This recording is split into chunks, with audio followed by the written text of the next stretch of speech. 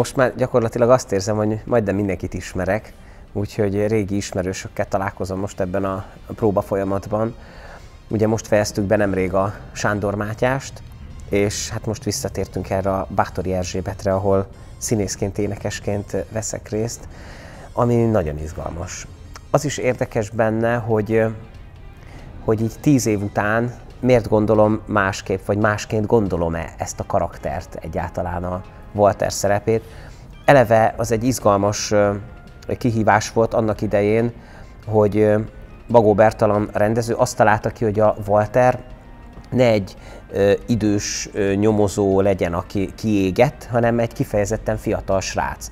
Hogy van abban egy plusz izgalom, vagy érdekesség, hogy mitől tud egy fiatal ember kiégni igazából, tehát már akkor is, akkor is ez érdekelt. Azóta eltelt tíz év, remélem nem égtem ki, de mm, a mélységét azt még inkább meg tudom szerintem keresni most.